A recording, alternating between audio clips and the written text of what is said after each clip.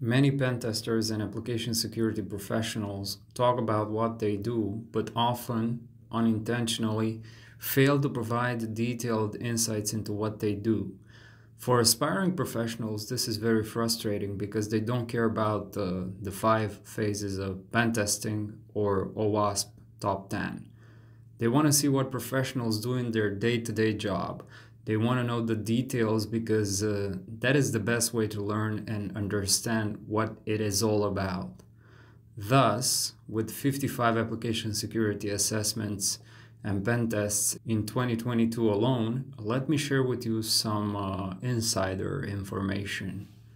First, how do I get so many assessments? It has been through networking and talking to people in the field. The fact that I post about uh, security on my YouTube channel and I have a presence. I post frequently on Twitter and YouTube. Helps a lot because I get an ongoing flux of opportunities with these channels. Second, how much time do I spend on an assessment? It is usually between 15 to 30 hours, and I get very flexible deadlines.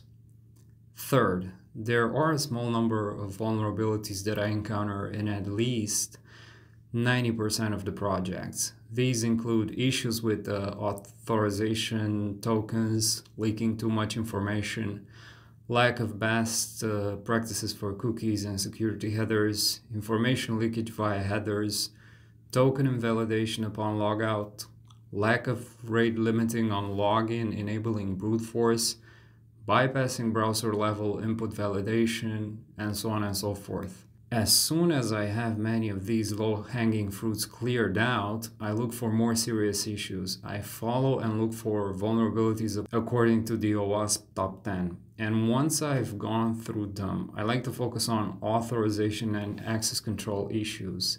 And in the overwhelming majority of cases, I find at least two uh, or three such critical issues. The impact of these issues is very significant because it leads to unauthorized access to sensitive information. The very basic idea of me testing for authorization and access control issues is to create multiple accounts with different roles and cross-testing in Burp Suite in an IDOR style. I won't go into details here because if you're reading this, you should know what I'm talking about. Most of the time I spend on an assessment is doing manual testing using Burp Suite extensively. I also do JS code review and test for input validation where it is the case. There is very little to no recon or um, testing with automation unless the target is very big or the client has some special requests. The final thing I want to mention is about report writing. Given that some low-hanging fruits are found in most of the projects, that's just a matter of copy pasting from past reports and ad adapting to the context. On top of that, I will add the unique vulnerabilities. And at the end of uh, each vulnerability, I will recommend a fix. I fill in the report as I find the vulnerabilities. I'll be doing more insights like this in the future if this is well received.